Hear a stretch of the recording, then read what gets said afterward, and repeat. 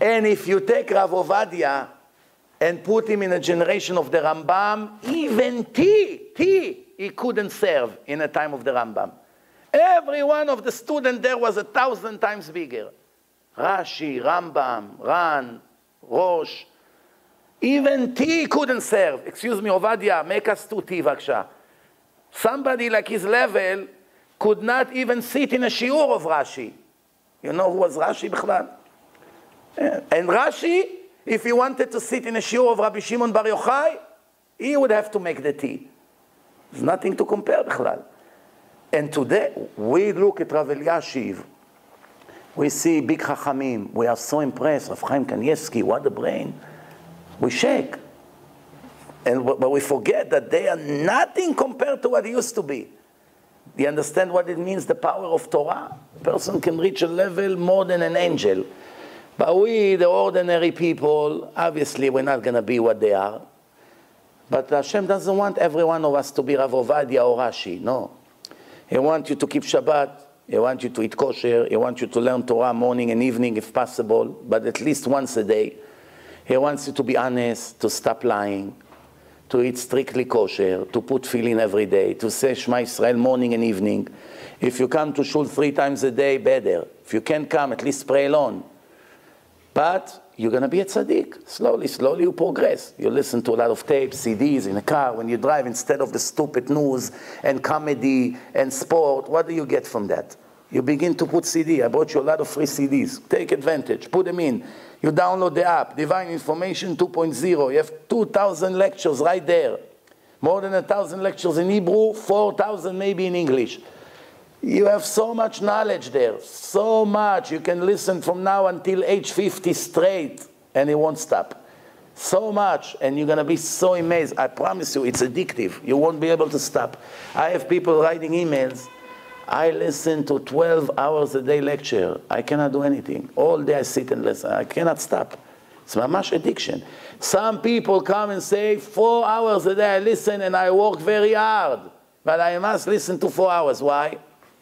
Great way to learn Torah. Some people are lazy. They're not going to drive to yeshiva. They won't sit with chevruta. At least they spend a lot of time in a car.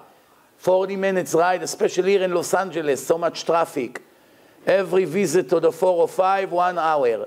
One hour, one hour shiur Torah. Do you know how many mitzvot you have in one hour shiur Torah? Who knows? The Chafetz Chaim did the math. Every letter of Torah, it's one mitzvah from the Torah. Every letter. An average person can read 200 words or to listen to 200 words in a minute.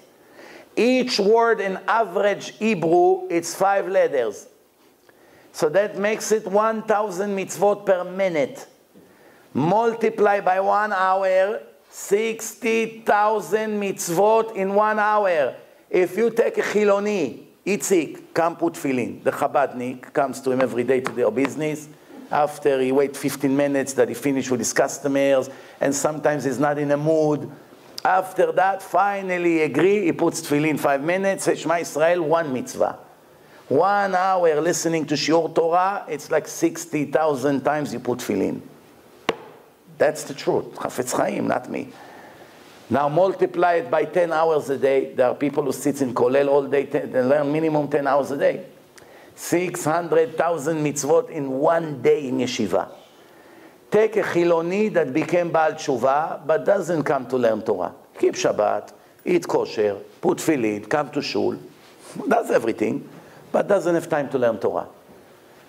70 years he keeps mitzvot, he won't do 600,000 mitzvot what you do in one day in learning.